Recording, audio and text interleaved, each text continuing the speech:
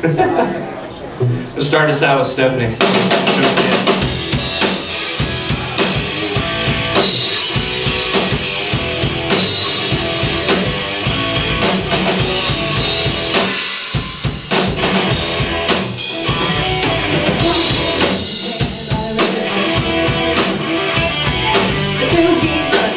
about